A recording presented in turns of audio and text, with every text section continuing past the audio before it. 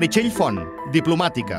Becada per la Fundació Crèdit Andorrà per cursar un diploma d'estudis aprofundits en arqueologia cristiana i clàssica a la Universitat Friedrich Alexander, Erlangen, Nuremberg.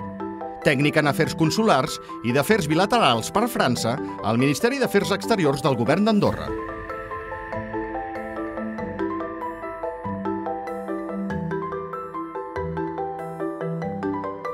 Eudal Carbonell, arqueòleg, doctor en Geologia del Quaternari per la Universitat Pierre-Marie Curie de París.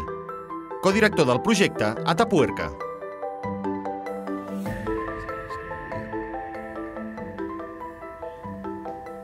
Bueno, tot i que ara estic treballant al Ministeri d'Afers Exteriors i bueno, estic de diplomàtica o estic ara aquí a Andorra, o sigui, en els meus inicis jo tenia molt interès sempre per la mitologia, per la història de les civilitzacions, i això suposo que quan vaig acabar el batxillerat és el que em va conduir a, a formar-me pues, amb tot el que és la història de l'art i l'arqueologia això en un primer temps. No? Però això volies fer? Volies, ser, volies, ser, volies fer arqueologia? Bueno, encara pots fer-ne, eh? Sí, encara en puc fer. Bueno, és veritat que els estudis o sigui, que jo he fet a França han sigut uns estudis més teòrics. Bueno, yeah. Com ja saps, a França tenen una visió molt estàtica de les coses, tampoc hi ha tant finançament, no? i és una cosa més, més uh, intel·lectual, no és tant de terreny. No?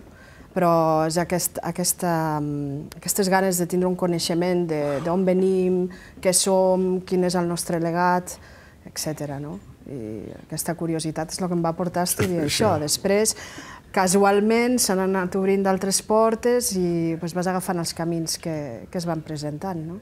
o que consideres d'interès en aquell moment. No? I tu com hi vas arribar? Ah, jo hi vaig arribar perquè de, de molt petit, tenia 4 anys i mig, feia col·leccions de fòssils, eh, i la meva àvia m'acompanyava. A casa no hi havia hagut mai ningú que s'hagués dedicat a les ciències naturals, ni cap a cap qüestió lligada a l'evolució humana. Doncs jo de petit vaig començar, en quatre anys i mig, i vaig dir, jo vull ser arqueòleg. I a partir d'aquí doncs, sabia que, que m'havia de preparar per ser-ho i ben, fins ara encara no he abandonat i ja porto molts anys. Vaig començar a fer excavacions de molt jove, part de les col·leccions, a 11 anys, a les coves de Rialp, que era el lloc on estudiava, i llavors, per descomptat, va començar tota la part, tota l'època de, de formació. I tu, què, què, què vas fer de formació? Doncs jo primer vaig fer una primera fase dels meus estudis a França, perquè havia fet els meus estudis sí. aquí a Andorra en el marc de, de l'escola francesa, i vaig començar fent un, bueno, filologia per un costat, eh, vaig estudiar tot el que és eh, filologia anglesa, americana, civilitzacions, també filologia espanyola, però sobretot em vaig centrar després en tot el que era història l'art i arqueologia i en una primera etapa vaig estar treballant sobre tot el que era eh, arqueologia clàssica, orientada més, vull dir, cap a la ceràmica i les produccions d'Itàlia del Sud. Després va sorgir la possibilitat de marxar a Alemanya, purament casualment, no? I vaig considerar que era important potser passar per aquesta fase perquè hi ha moltes publicacions en alemany. alemany. I clar, l'alemany no s'improvisa.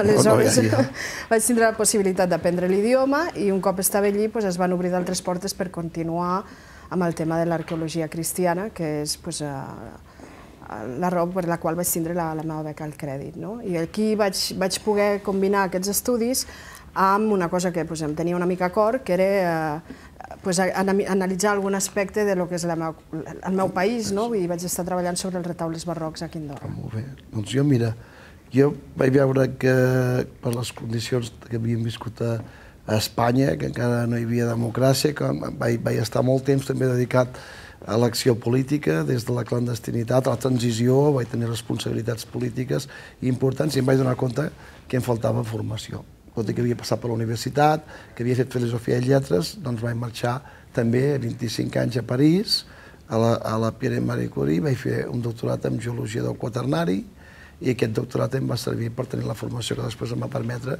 fer la, la construcció dels equips. O sigui que era com un complement a el que havies fet, algo que trobaves a faltar, no? Jo trobava a faltar que, que realment la formació que tenia no era una formació... Ho havia fet a, a, a, a Girona, a Barcelona, però en aquells moments no hi havia una formació acadèmica eh, amb la profunditat que necessitava per, per, per treballar. Per això vaig marxar i em vaig acabar de formar a París. I aquí, eh, la tornada de París ja va començar tota l'època de, de, de, de treball molt, molt profund. Havia començat abans d'excavar Tapuerca, però aquí ja va començar la part estructural de la, de, de, del meu treball i, de, i del funcionament de la meva vida. No? París va ser l'última part, podem dir, de la part formativa acadèmica. Volia marxar a Liverpool amb una beca, però això no va, no va sorgir, i llavors ja, ja, ja em vaig decidir doncs, a, a començar la meva etapa de professor universitari que he continuat i d'investigador fins ara. Has continuat en paral·lel de totes les altres activitats que has sí, anat fent. Sí, però sempre m'ha interessat les qüestions socials. Per sí. això, fins i tot l'institut que dirigeixo ara es diu Institut Català de Paleoecologia Humana i Evolució Social. Molt interessant. Sí, la vida saps que la formació és molt important. Molt. Eh, perquè als inicis, quan vols fer una cosa, no ets conscient del que costarà preparar-se acadèmicament. No? Però una vegada ja tens clar què vols ser, com vols evolucionar, doncs et dediques a, a treballar i, i a reforçar la formació. Bueno, jo després de la meva formació, mentre estava a Alemanya, vaig tindre la possibilitat de, de treballar pel govern d'Andorra en un projecte que era l'exposició universal a, a Hannover, l'any 2000, i arran d'aquí doncs, va ser quan va canviar una mica de gir tota, tota la meva vida, no? perquè és quan vaig després, el 2002, integrar la feina actual no? a govern. Però és interessant perquè, tot i que he anat cap a una altra direcció, vull dir, m'he anat retrobant amb elements de lo que era la meva primera part, no? formativa i tal. No? Aleshores eh, vaig tindre la sort, quan vaig començar a treballar, de participar en un projecte que era, eh, perquè parlava alemany, eh, van integrar a tot el que és la primera exposició dels, del, dels frescos de Santa Coloma, quan van vindre a Quindorra per la primera vegada. No? I eh, va ser un projecte molt important perquè pues, el govern d'Andorra va acabar comprant aquests frescos i va ser molt interessant, vull dir, per una banda, per tenir aquesta formació d'historiadora mm. de l'art, no?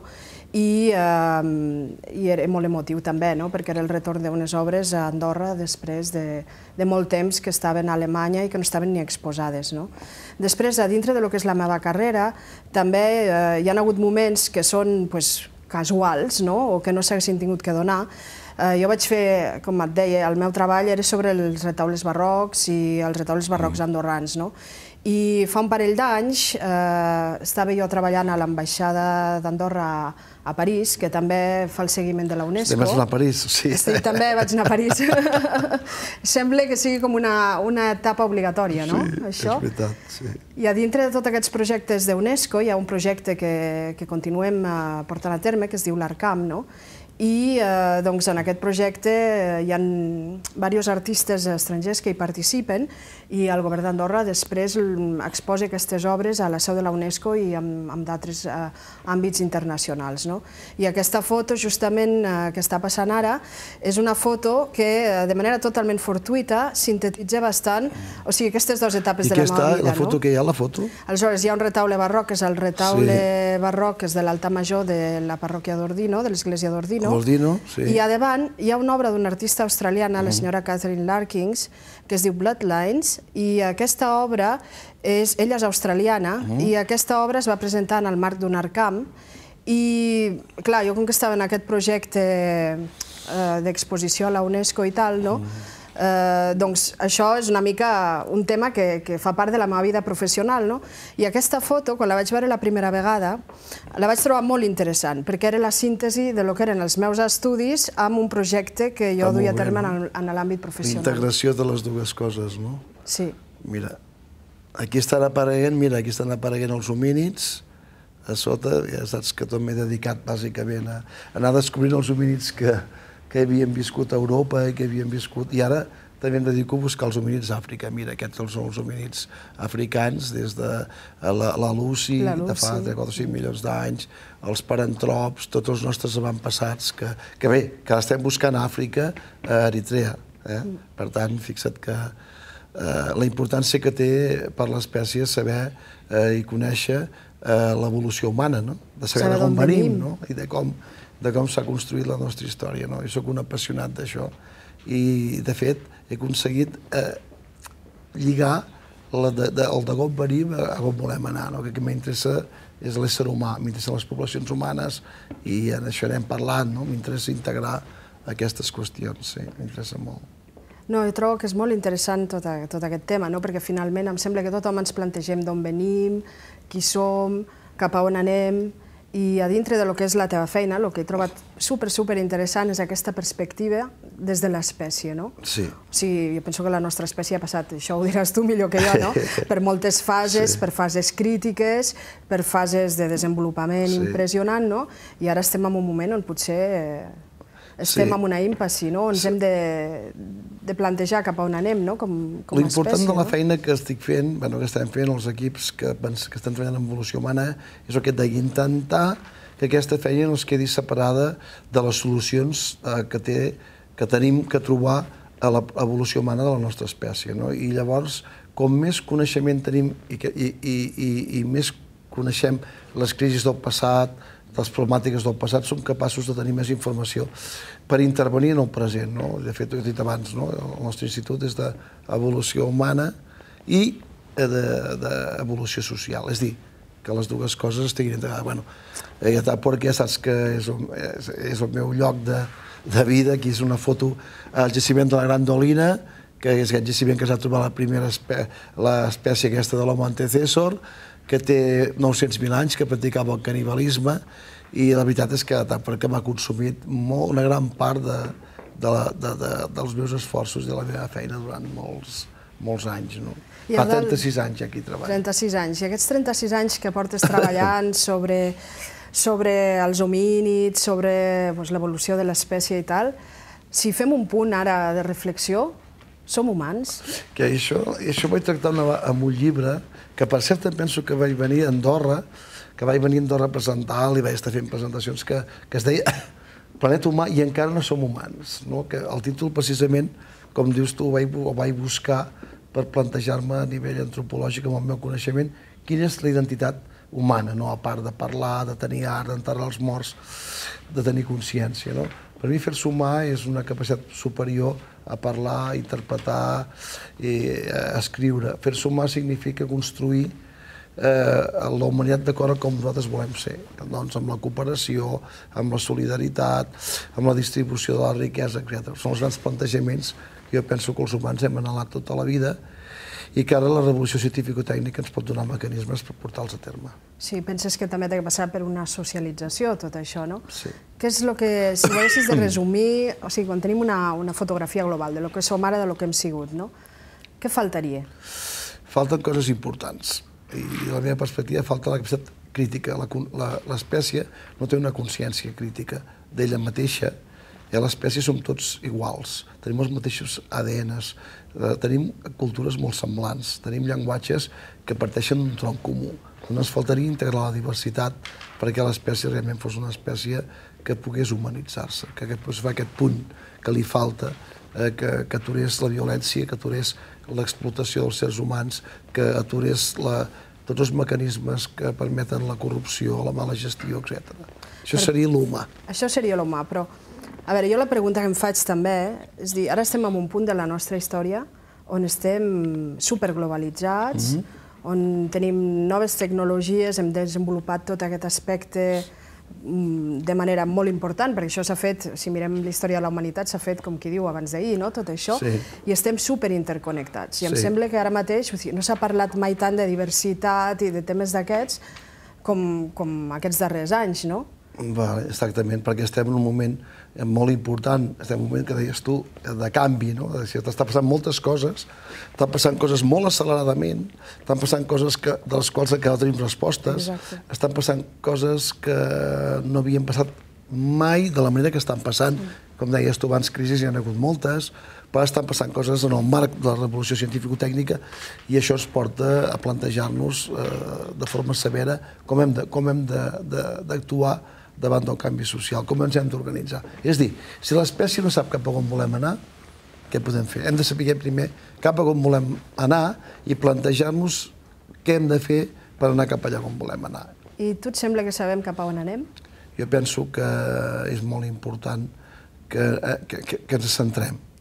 Perquè el dia a dia, que les obsessions, les petites coses, no ens facin perdre realment eh, l'objectiu de la humanitat, que és com, eh, com, com, com la manera com la nostra consciència ens fa millors com, com, com, a, com a espècie. Perquè jo penso, a veure, quan veig tota la feina que fas o tot el que hi ha, o sigui, nosaltres tenim una història molt llarga, Sí. no? molt important. I ara mateix doncs, eh, tenim reptes que no havíem tingut mai, Ja. que és el que comentàvem ara, no? I cap a on anem o com els afrontarem, aquests reptes, eh, no ho sé, quan es veuen àmbits com, no sé, com s'està com s'està utilitzant el planeta ara mateix, com s'està gestionant a nivell polític... Però això tu deus saber-ho, no? que tu estàs en aquests, en aquests mitjans on us trobeu representants de tots els estats i que això deus vi- viure tu, què pensa la gent, què diuen... O sigui, És, és un debat interessant, no? perquè sigui, jo el que trobo interessant amb, amb, amb tot el teu cursos, amb el teu darrer llibre i tot, és l'enfocament que fas, que és un enfocament d'espècie, no? Sí. I és un enfocament, o sigui, que, que és una fotografia global, no? Sí. I quan jo miro pues, justament no, com ho estem gestionant o com estem fent aquestes coses, no? Um, tinc Sí. la impressió que, que estem molt, molt tancats amb, Sí. amb, un, amb una cosa molt temporal, Sí, sí. no? que de fet no, En aquest llibre precisament és això, que és, que, que és un llibre que està escrit per les generacions petites, no? És un llibre, l'arqueòleg i el futur pretén precisament fer que aquest context general per explicar als petits que en un moment determinat tinguin, ho has dit molt bé, una, una fotografia de, de com els grans, de com la generació que vam néixer als 50 del segle passat, doncs que són les nostres preocupacions, eh? Què passarà amb l'aigua, què passa amb la, amb la pobresa, que és tremend, és increïble que al segle XXI això existeixi com una laca, les famílies com han evolucionat, com han canviat, eh, la ideologia, què és, la ciència, la importància que té, en fi, eh, la política, el nostre país cap a on va, eh, i que és aquesta fotografia que deies tu, un moment de canvi, la fotografia serveix per parar coses i després pensar i reflexionar sobre això. Perquè jo, si miro una mica la fotografia actual, tenim, tenim aquesta idea de sostenibilitat que ens pot, justament, estem en una ímpassi a nivell de l'espècie, no? Això depèn de com es gestioni, anirà cap a un costat o cap a un altre, evidentment. I jo no sé si ara mateix la gestió del planeta integra aquesta idea de sostenibilitat que, que pot fer que la cosa vagi cap a un costat o cap a un altre. I estic d'acord, això està a les nostres mans. Jo penso que integrar la diversitat en aquests moments és l'esforç més important i la consciència crítica de l'espècie, és dir, pensar que tots formem part d'una mateixa realitat genètica i que la diversitat cultural existeix, però és una petita variabilitat. De fet, els humans tots estem fets del mateix i tots ens estructurem i vivim en societats molt semblants. Eh? I tots, fem, tots sabem llegir, tots, la majoria, ja, afortunadament, tots pensem d'una manera, tots tenim art, tots coneixem què és l'estètica, el concepte de l'ètica, tots tenim una, la moral, i hem de començar a ser capaços de canviar aquests valors per consciència. La consciència és una, jo penso que és un estadi superior, Seria com el, el proper esglaó, no? exactament, ja no tenir valor sinó tenir consciència crítica, és dir, eh, que cada persona per ella mateixa pot decidir què és el que ha de funcionar conjuntament amb un col·lectiu i com a espècie en el futur. Jo el que trobo interessant de la teva reflexió i en aquest últim llibre que has escrit, justament, és que tornes a posar dintre del debat el que és eh, l'espècie, no? i una perspectiva molt més àmplia, i que això ens fa reflexionar, perquè finalment, o sigui, el que som avui com a espècie, o sigui, és uh, l'herència de molts, molts, molts, molts anys, de molts milions, Sí, de molts sí. cent mils d'anys, Sí. i hem anat integrant. Això està dintre del nostre patrimoni genètic, no? I existeix, això també anàvem discutint abans, no? que existeix, és dir, és un patrimoni, és la memòria del sistema, no? El sistema té una memòria que el que hem de ser capaços és de vomitar-la i I intentar... d'anar a buscar els elements no? que ens poden ara ajudar a, a afrontar un canvi i, i a trobar una solució. Està clar. I no esperar que per l'evolució natural passaran coses bones, no. La selecció natural actuarà de molt forma severa i provocarà, no, no tinc cap dubte, catarsis eh, importants que faran un mal social eh, important i biològic. Estàvem parlant de que l'espècie, la, la socialització de la revolució científico-tècnica pot significar perdre 1.500 o, o 2.000 espècimens humans, que no és molt, però que clar, el dany moral, el dany social, el dany que pot fer és, és molt gran, eh? Pot fer trontollar l'estructura, Sí, tu penses, sí. no? Això és com que vas amb un, amb un cotxe i rebentes una roda i fas així, i en rebentes una altra i una altra i, i, i el perill que corres és que si en rebentes més pots fer una volta de campana i fer que el cotxe surti de la seva trajectòria, sí. I ara mateix, per exemple, a Tapuerca, què és el que estàs fent com projectes? Què és el que Doncs, estàs dirigint? A Taporca estic dirigint eh, un projecte que és un projecte que som més de 200 arqueòlegs, paleontòlegs, geòlegs eh, i botànics, i estem trobant tota l'evolució dels éssers humans a Europa des d'un milió i mig d'anys fins ara. Per exemple, hem trobat, jo que, és, jo que és el més important, aquí estem veient imatges d'un museu, hem trobat, eh, és que es veu una excavació, però per exemple hem trobat, aquí estem amb, amb la inauguració, amb, amb la reina, eh, i li estem ensenyant de, eh, moments de les fotos de l'esquadra que estic amb el, amb el Suaga, eh, i, i amb els codirectors, amb, amb, el, amb, el, amb el José María de Castro, doncs mira, hem trobat, per exemple, les primeres proves de canibalisme de la història, fa 800.000 anys, les primeres proves de l'existència d'enterraments de, eh, o d'acumulacions de cadàvers intencionals. Intencionals, amb eh, algun ritual i... Hem, hem trobat una espècie nova, que és l'homo antequeso. Hem trobat l'homínid més antic que es coneix a Europa Occidental, d'un milió mil anys. I a, a Taporca podem reconstruir la història humana des tres cents, fins ara. I això és el que estem fent. Intentar explicar a la societat i publicar en revistes científiques, a l'acadèmia, en els màsters, en els, en els doctorats, en els graduats, el que estem fent, i exposicions, llibres que expliquen tota aquesta realitat tan complexa de l'evolució humana a través de Taporca. Jo el que trobo interessant, o sigui, a part de tota la feinada que has fet a nivell científic, d'investigació, de divulgació, és que no et centres només en el que és l'aspecte purament científic de les descobertes totals, sinó que la teva reflexió va molt més lluny, no? Perquè d'alguna manera, o sigui, tot el que tu has, has, has anat desenvolupant com a feina d'arqueòleg i tal, eh, ho apliques amb un qüestionament sobre eh, el que és la nostra societat actual i el que trobo molt interessant en el llibre que escrius en el teu fill és que mm, Veig que te l'has llegit bé. Eh? Sí, me l'he mirat una mica. Has mirat una mica, es nota. Una miqueta. No estàs acostumada. I aleshores el que trobo interessant és que sí, no sí, es tracta aquí, tant de... Precisament aquí, quan són, en el llibre, i aquí està la imatge, no? Sí. Clar, el futur, el futur és el, el, futur és el nen, és, és l'opte. El futur és l'opte. Eh, jo sóc, per, per l'aspecte i per l'evolució biològica ja es veu que no sóc el futur. No? Per tant, l'únic que puc deixar és una fotografia, una fotografia, i el nen sí que pot, de, de, de del seu pare, no consells, que això jo penso que és molt important. És això el que volia dir. Jo penso que, més que consells, el que dones són claus de lectura, no? Això mateix. Parteixes d'un anàlisi, sempre ho recentres cap a un anàlisi sí. global, això. i aleshores dones claus de lectura, no? Sí. I jo ho he trobat sumament interessant amb el sentit que estàs abordant tots els temes d'actualitat, però sense perdre de vista aquesta perspectiva global d'on venim i tot el que ja hem superat com a no, espècie. I sintètic. Jo penso que en les explicacions, tant en la recerca com en els llibres, hem de ser en les coses fonamentals sintètics, és a dir, sí, els conceptes, i cadascú que reflexioni amb aquests conceptes. Jo penso, no es poden fer catecismes com quan no. nosaltres érem petits, o no? No, no, és I així. Aquest, i, i, i perquè m'ha ensenyat l'analítica, els cabals jaciments, a intentar explicar-los i tal, m'ha ensenyat a, a comprimir, a conceptualitzar, a explicar. I la feina de l'arqueòleg i la feina que, que, que, que estem fent com eh, com a equip és precisament intentar conèixer a partir de dades empíriques, però també saber-les explicar, saber-les comunicar per integrar els humans a l'evolució humana. Per què? L'evolució humana és molt important per entendre i fer funcionar eh, la, la professió.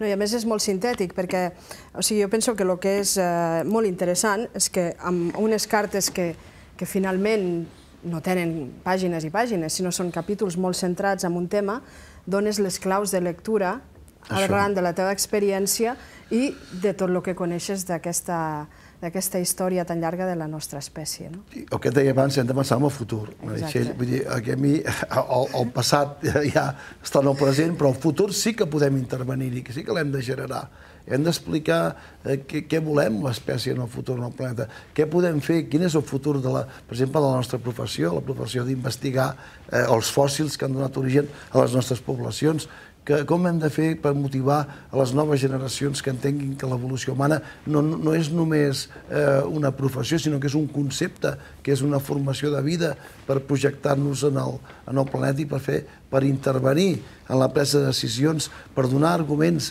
a l'estructura política, a les societats, que, que es carreguin d'elements de, per prendre decisions, i no esperar que deies tu abans a veure què passarà. No. Si peta, peta. No, no, no. Escolti'm, tenim molts mecanismes, està la Terra monitoritzada, tenim quantitat milions ja, de centenars de milers de científics, de persones que estan treballant sobre això. Escolti'm, i aquesta informació, informació, coneixement i pensament s'han de posar de forma eh, equilibrada per fer aquest gran salt que és l'humanització d'aquest planeta. Totalment d'acord. Això em sembla que sí, que va cap per aquí. Totalment sí. d'acord. En els joves no se'ls ha de donar consells, aquest és el, aquest és el corolari. En els joves, i això estic això molt d'acord amb tu, se'ls ha d'explicar el que tu has fet, el que has viscut i com tu veus. És com una transmissió de tota la teva experiència i del saber que els dona unes claus per poder decidir ells què és el que volen fer, com s'ho volen apropiar i cap a on volen anar amb això estic totalment d'acord amb tu i a més a més és, molt, és normal que estem d'acord perquè a part que tenim una formació també, o sigui, una formació acadèmica, una formació científica i tal. Per, per què dic això? Perquè actualment, si els joves fan el que hem fet nosaltres, això no anirà.